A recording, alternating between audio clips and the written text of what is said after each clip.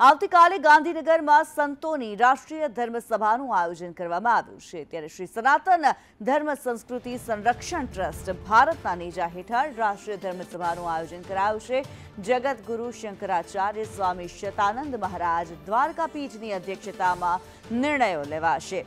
સમગ્ર ગુજરાતમાંથી એક હજારથી વધુ સંતો ધર્મસભામાં જોડાશે. ધર્મસભામાં સમગ્ર ભારત કક્ષાની સમિતિની રચના કરવામાં આવશે. આ સમગ્ર ભારતના અન્ય રાજ્યોમાં પણ આ સમિતિની રચના કરવામાં આવશે ત્યારે ધર્મસભાનું આયોજન કરવામાં આવનાર છે. સમગ્ર ભારત વર્ષના ભિન્ન ભિન્ન રાજ્યોમાંથી મહાપુરુષો પ્રતિનિધિ તરીકે, અખાડા દ્વારાના પ્રતિનિધિઓ, મઠાધીશો, કથાકારો અને પૂજ્ય જગતગુરુ શંકરાચાર્યજી શારદા પીઠાધીશ્વરના અધ્યક્ષસ્થાને આ જે છે મિટિંગ જવા જઈ રહી છે, જેનો ઉદ્દેશ કેવલ સનાતન ધર્મની સુરક્ષા કરવાનો છે. આ ટ્રસ્ટ જે છે, કોઈ વ્યક્તિને, કોઈ સંપ્રદાયને, અગર તો કોઈ જાતિને ટાર્ગેટ રાખીને કામ નહીં કરે. કેવલ રાષ્ટ્ર ભાવનાથી બિન રાજકીય આ સંસ્થા જે છે કામ કરશે. સનાતન ધર્મના જે સંતો સફેદ અને ભગવા વસ્ત્ર ધારણ કરીને એના માટે જે લોકોએ આ જીવન અર્પણ કર્યા છે તો સુરતની સ્મીમેર હોસ્પિટલનો નવો વિવાદ. ડિલિવરી બાદ નવજાત બાળક પટકાયું. ટેબલ પરથી પટકાતા બાળકને માથામાં ઈજા થઈ છે. પ્રસૂતાના પરિવારમાં ભારે રોષ. હાલ બાળકની તબિયત સારી, બાળાની તબિયત સારી હોવાથી પોલીસ ફરિયાદ કરવાનું ટાળ્યું છે. ડિલિવરી બાદ બાળકી ગાયનેટ ટેબલ પરથી નીચે પટકાઈ હતી. આઝમ વધુ વિગતો સાથે જોડાઈ ગયા છે. આઝમ કઈ રીતે ઘટના બની? આખરે તબીબથી કઈ રીતે આ ચૂક થઈ?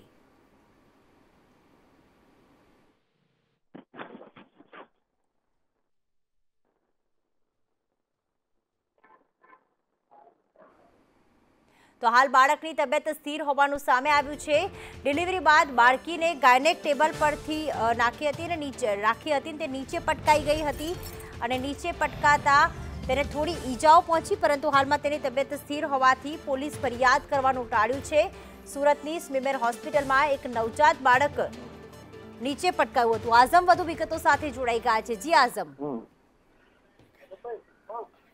સુરતના લાજપોરવાડી ફળિયામાં રહેતા ડ્રાઈવર ફૈઝલ પઠાણની પત્ની તરન્નુમ બીબી ગત શનિવારે લીંબાયત મીટી કાઢી ઇસ્લામી ચોક સ્થિત પોતાના પિયર મળવા ગઈ હતી. તે સમયે તેને પ્રસૂતિની પીડા ઉપરતા સ્નેહર હોસ્પિટલ લઈ જવામાં આવી હતી. પ્રસૂતિ માટે દાખલ તરન્નુમ બીબી ગત સવારે બાળકીને જન્મ આપ્યો હતો. ડિલિવરી બાદ બાળકીના ગાયના ટેબલ પરથી નીચે પડકાતા તેને માથામાં ઈજા થઈ હતી અને લઈને પરિવારમાં રોજ ભભૂકી ઉઠ્યો હતો. જો કે બાળકની તબિયત બાળકીની તબિયત સ્થિર હોવાના કારણોસર પરિવારે પોલીસ ફરિયાદ કરવાનું ટાળ્યું છે. પરંતુ સ્મીમેર હોસ્પિટલની ગંભીર બેદરકારી આ સમગ્ર મામલે સામે આવી છે. જી. બિલકુલ આભાર તમામ વિગતો માટે. અને અન્ય સમાચારની વાત કરીએ અમદાવાદમાં બેવડી ઋતુને લઈ રોગચાળો વકરો છે. બેવડી ઋતુને લઈ મચ્છરજન્ય ડેન્ગ્યુના કેસમાં સતત વધારો થઈ રહ્યો છે. શહેરમાં ડેન્ગ્યુના બસો સિત્તેર કેસ ટાઇફોઇડના બસો ને ચુંવોતેર કેસ નોંધાયા છે જ્યારે કમળાના એકસો એક કેસ નોંધાયા છે. વાયરલ ઇન્ફેક્શનના દર્દીઓનો હોસ્પિટલમાં ભારે ધસારો જોવા મળી રહ્યો છે. સરકારી હોસ્પિટલમાં રોજની ઓપીડી એક હજારને પાર થઈ ગઈ છે.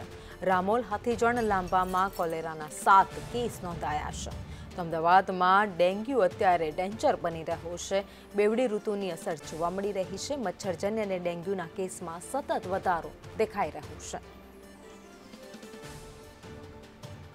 તો સુરતમાં હાર્ટ એટેકનો સિલસિલો યથાવત જોવા મળ્યો. એક ચોવીસ વર્ષીય યુવક અમિત યાદવનો હાર્ટ એટેકના કારણે મોત થઈ જતાં તેના પરિવારમાં શોકનું મોજું ફરી વળ્યું. યુવકને અચાનક છાતીમાં દુખાવો ઉપડ્યો હતો અને સારવાર અર્થે હોસ્પિટલ લઈ જવાતા તબીબો દ્વારા અમિત યાદવને મૃત જાહેર કરવામાં આવ્યો. જોકે યુવકને કોઈ પણ પ્રકારની ગંભીર બીમારી ન હતી. તેમ છતાં પણ યુવકનું આમ અચાનક હાર્ટ એટેકના કારણે મોત થતાં સમગ્ર પરિવાર શોકમગ્ન થઈ ગયો છે.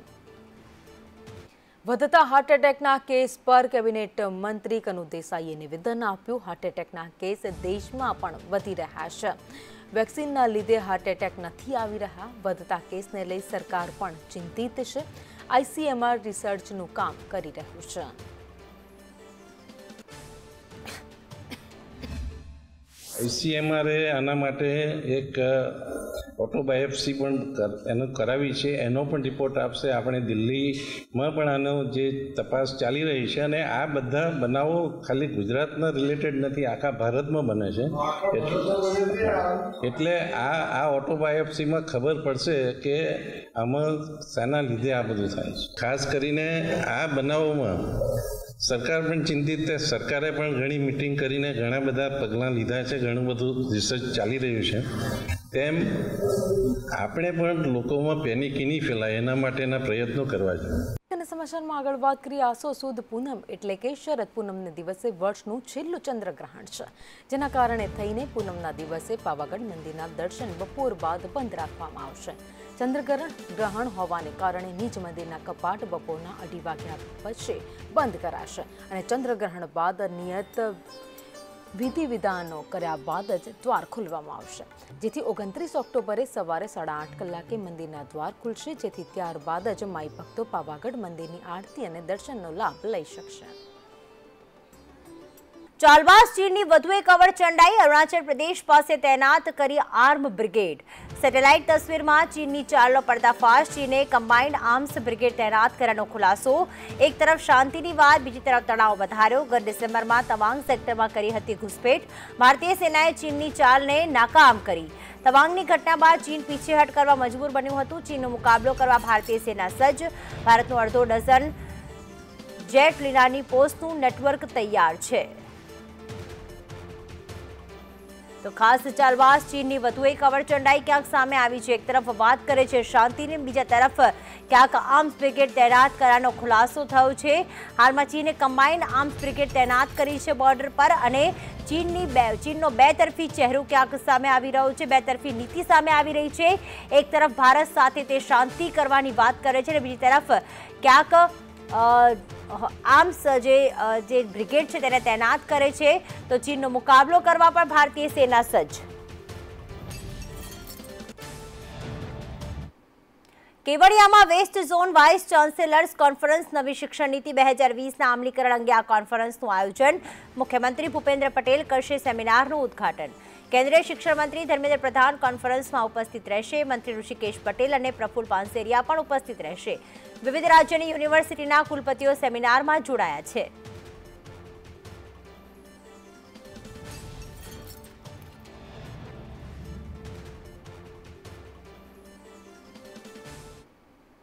મેરી મિટ્ટી મેરા દેશ કાર્યક્રમ અંતર્ગત સરદાર પટેલની જન્મભૂમિ નડિયાદની માટી દિલ્હીમાં અમૃતવન માટે લઈ જવામાં આવનાર છે. ત્યારે આ પ્રસંગે નડિયાદમાં યુવા મોરચા દ્વારા ભવ્ય બાઇક રેલી યોજાઈ હતી. બાઇક રેલી નડિયાદ નગરપાલિકાથી સરદાર વલ્લભભાઈ પટેલના નિવાસસ્થાન સુધી યોજાઈ હતી. આ પ્રસંગે ધારાસભ્ય પંકજ દેસાઈના જણાવ્યા અનુસાર ખેડા જિલ્લામાં પાંચસો જગ્યાએ ગામડા તેમજ શહેરોમાં વિવિધ કાર્યક્રમો યોજાયા હતા. નડિયાદની અંદર મેરી માટી મેરા દેશ યુવાનોએ કાર્યક્રમ કરીને બાઇક રેલી સ્વરૂપે નડિયાદ નગરપાલિકાથી શરૂ કરીને સરદાર સાહેબનું સ્ટેચ્યુ આંબેડકર આંબેડકરજીનું સ્ટેચ્યુ અને ત્યાંથી સરદાર સાહેબના જન્મ સ્થળ સુધીનો આજે કાર્યક્રમ કરવામાં આવ્યો. કાર્યકર્તાઓ અને આજે સત્યાવીસમી તારીખે બીજો જે કાર્યક્રમ છે, એમાં તમામ ધારાસભ્યશ્રીઓને ત્યાંથી રેલી મેરી માટી મેરા દેશ એક રેલીના સ્વરૂપે અમદાવાદ જશેના અમદાવાદ જે મુખ્ય કાર્યક્રમ છે, આ મુખ્ય કાર્યક્રમની અંદર ભાગ લેવાનો આજે ખેડાની અંદર સરદાર વલ્લભભાઈ પટેલની આ જન્મભૂમિ, સરદાર સાહેબે આ દેશને આઝાદી અપાવવા માટે થઈને ત્યાગ અને સમર્પણ ભાવે આ દેશને આઝાદી અપાઈ છે. અને આઝાદી પછી પણ આ રાષ્ટ્રને એક કરવાનું કામ કોઈ કર્યું હોય તો સરદાર વલ્લભભાઈ પટેલજીએ કર્યું હતું. ત્યારે એમના જન્મસ્થળની માટી આજે ભારતીય જનતા યુવા મોરચાના કાર્યકર્તાઓએ અમૃત કળશ યાત્રા કરી યોજીને એમના જન્મસ્થળથી માટીનું એકત્રીકરણ કર્યું છે. એ માટી પણ સત્યાવીસમી તારીખે પ્રદેશ અધ્યક્ષશ્રીને આપવામાં આવશે અને આ બધી જ માટી સત્યાવીસ તારીખ પછી એકત્રીસ તારીખ સુધીમાં દિલ્હી ખાતે આ માટીનું ત્યાં જ્યાં આ કાર્યક્રમની પૂર્ણાહુતિ છે. એમાં અર્પણ કરવામાં આવશે.